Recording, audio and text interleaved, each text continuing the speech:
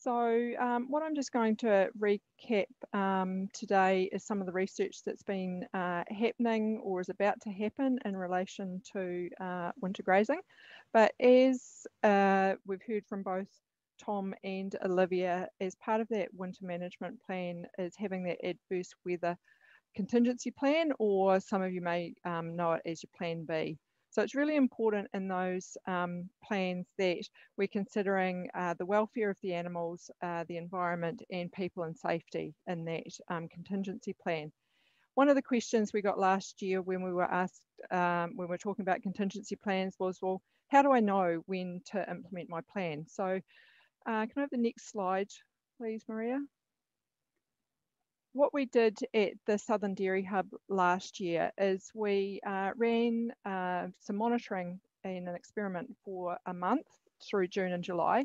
And what we were trying to do was um, link cow behaviour and soil conditions to come up with some, some practical visuals linking those soil conditions to lying behaviour. So we had 120 uh, animals enrolled in the study and we had two um, mobs on fodder beet and two on kale. And we used some different devices. So we used um, an accelerometer around down the bottom of the um, cow's leg to tell us whether she was standing um, or lying down. And then we had um, ear tags, CowManager tags that gave us an indication of activity, uh, ruminating and eating time. And then what we did, um, the team went out and did a whole lot of soil measurements looking at pugging depth and um, wetness and a whole lot of a whole range of things. And so I'll just go through briefly some of the results for what we found from that. Next slide, thanks Maria. So one of the, we looked, uh, as I said, we had fodder beet and kale paddocks. We didn't, um, in this study, observe any differences in the soil conditions um, between fodder beet and kale paddocks. So you can see there uh, in terms of pugging depth, um, very similar, um, similar percentages of um, dry, wet and sodden, and also the percentage of pooling. What we did observe uh, from this study was it was actually the paddock location that was more important than the crop type.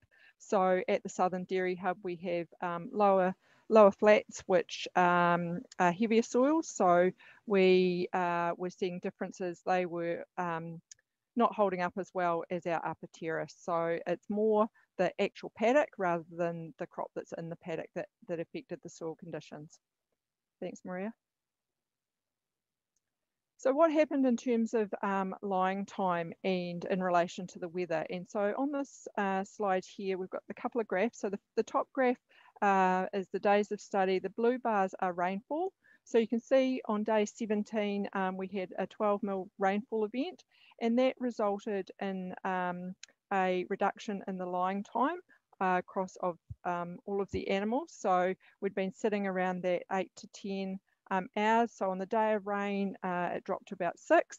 And then the day after, it dropped even further because we had follow up rain from that. So um, we had a decrease on the day of rain and the day after, but it rebounded two days later. And that, I guess, was indicating that um, when the conditions um, came right, those cows were tired and so they were spending longer lying.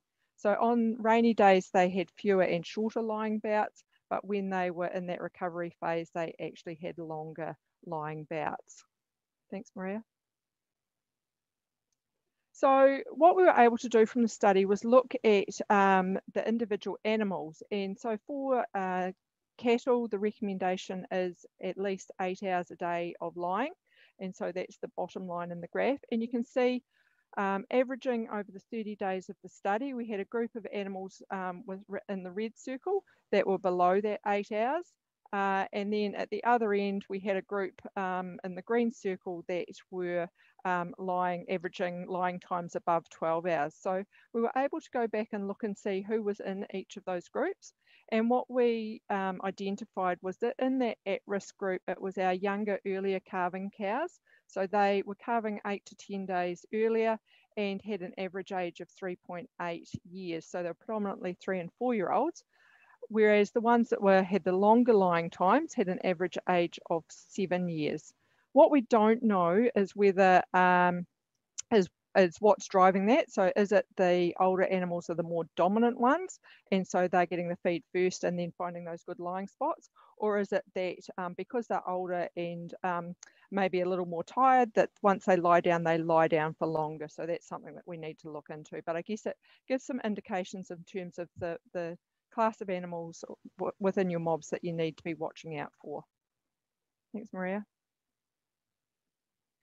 So in terms of um, our visual um, indicators, what we uh, observed was that a ruler to measure pugging depth, gumboot score and water pooling were all really good measures to estimate the true mud depth and the paddock wetness.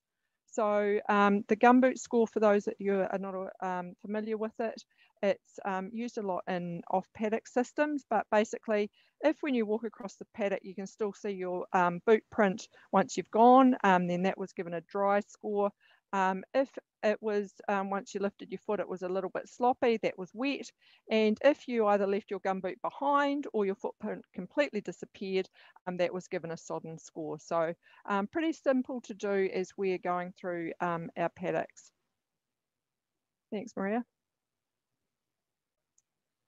So as I said, we did measure a lot of different things um, and there was lots of um, interacting factors, as you can see um, in this diagram here, that were impacting the lying time. But uh, surface pooling from the, the results was the most useful. And of course, this is strongly linked um, to rainfall and will also be affected by soil type. So if you've got um, a more free draining soil, then you won't get surface pooling as quickly as you will uh, on a heavier soil for the same amount of rainfall. But being able to assess that surface pooling um, is a really good indicator in terms of whether animals achieving their lying time or not.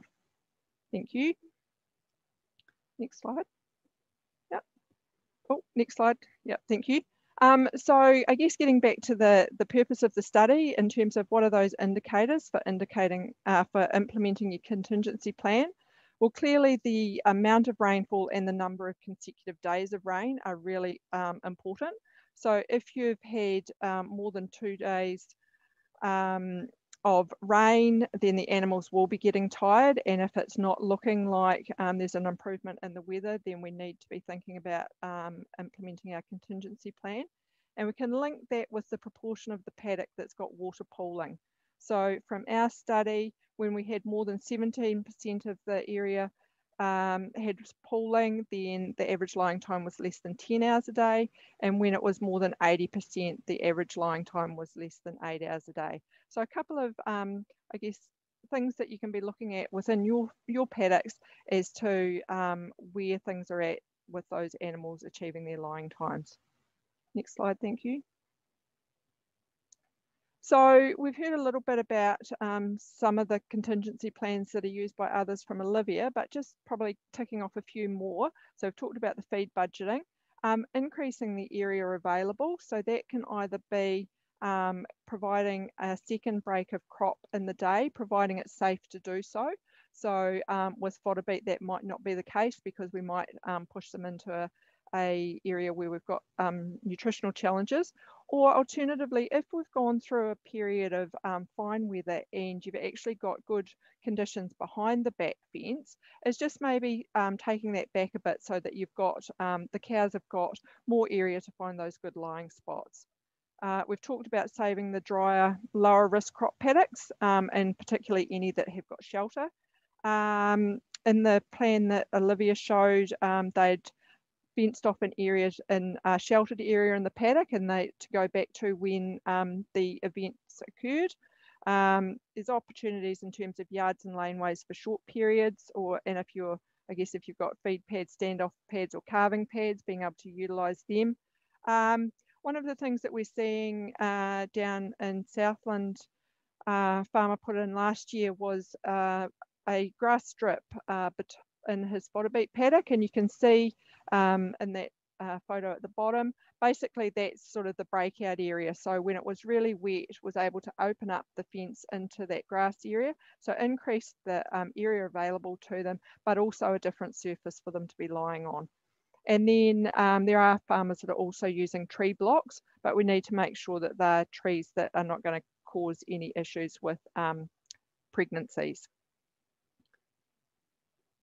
Thanks, Maria. So just going to move now um, and do a bit of a summary in terms of catch crops. So this is um, research that's been done by Plant and Food Research, and they've had a program of work uh, looking at this across um, several regions of the country. So the principles around the catch crops, uh, as Tom said earlier, is one of them's around mopping up the nitrogen that's in the urine patches. And the second one is that they can they reduce drainage because we've got a plant growing there that's going to be utilizing some of that, that moisture. So in terms of the key principles with catch crops, um, sowing them as early as possible, using a winter active species. So oats is better than triticale, which is better than Italian ryegrass. They all have benefits. Um, targeting minimum or no tillage, uh, but the key is to make sure that you do, um, whatever you do, you have as best as possible um, seed soil contact to get good germination. Um, targeting high plant populations and minimizing weed competition so that you get those plants really going well. Uh, in terms of nitrogen fertilizer, really not required um, in the initial stages. In some areas, they may be required um, after October. But because there's so much nitrogen in the soil, not required at the um, establishment. And then from the work that they've done, harvesting at that green chop silage or the booting stage um, provides the maximum yield and quality. And so this um, on the Dairy NZ and the FAR websites, there's some more guidelines around catch crops. Thanks, Maria. So although it's not a silver bullet, um, it is another um, tool in the toolbox. We know that there are limitations to catch crops. Um, so the paddock gets too wet and you can't get on it. So uh, that, yeah, and it's, it's not dry enough um, until it's too late to get it in. Uh, where you're cropping on um, a milking platform, it might not fit in with the rotation because trying to get those paddocks back into grass as soon as possible.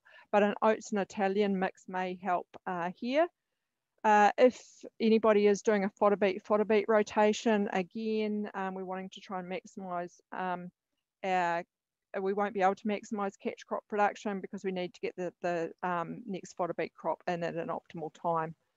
Uh, for those of you that are in um, areas that are dryland areas or where water is limiting, um, the catch crops may actually deplete that soil moisture, so um, could impact on the success of the, the main crop that's following that. Uh, the other thing is in terms of when the feed supply comes in, it's not necessarily at the right time that you need it, so we need to conserve that, which will add cost and um, there have been some issues in terms of getting the right seed. So again, not a silver bullet, but definitely something that we need to consider um, in our planning. Thanks, Maria. So just a couple of um, slides to finish off around um, some work that's just starting up. So uh, through Thriving Southland, the Makarewa Hedgehope Catchment Group um, have got a pilot demonstration looking at different crop establishments and this sort of came out of the work that we did at the Southern Dairy Hub last year. So um, can we get provide better conditions and have the soils hold up better if we use a different cultivation technique? So um, we've got the two, a couple of paddocks at the Southern Dairy Hub and then have teamed up with 11 commercial farms in Southland that have put crops in in different ways and we'll be monitoring um, some soil soil conditions, yields, costs, all of those sorts of things over the next uh, few months just to see what happens. And if it looks like it's successful, uh, then we'll look at um, a more uh, targeted um, research uh, in coming coming years. Thanks, Maria. And another um, study that's being run um, by AgResearch is repeating the work that Tom talked about at Telford uh, with the protection of the critical source areas, but doing it with sheep grazing. So it's really around under understanding the impacts of the sheep grazing on those soil physical properties and contaminant runoff. So it's a three-year study, um, just about to go into the second year. Uh, so watch this space and um, hopefully by the end of next winter, there'll be some really good information in terms of the value of protecting the critical source areas um, under sheep grazing systems. Next slide, thank you. So just to finish off, um, as uh, the sectors, the agricultural sectors, we've got one opportunity to get crop wintering right, and it's this winter. Thank you.